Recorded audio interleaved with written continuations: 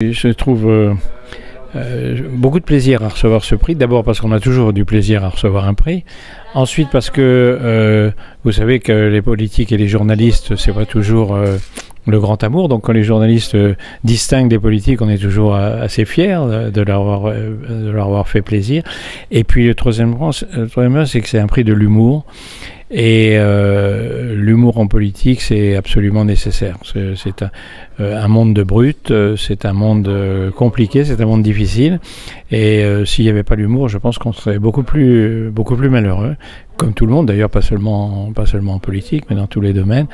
Euh, donc le Presse Club, cette initiative, elle, elle dure d'ailleurs depuis pas mal d'années. Je, je suis sûr qu'elle continuera encore pendant euh, euh, beaucoup de temps, parce que euh, dans cette vie compliquée, dans ce monde compliqué, elle est indispensable pour tous. Comment vous avez eu cette inspiration sur la NUPES? La NUPES était en train de mourir, elle était à l'agonie, et je suis médecin. Donc évidemment, euh, la, euh, la comparaison avec les soins palliatifs et euh, ensuite à la fin le prélèvement d'organes, j'allais dire, ça m'est presque venu naturellement. Merci.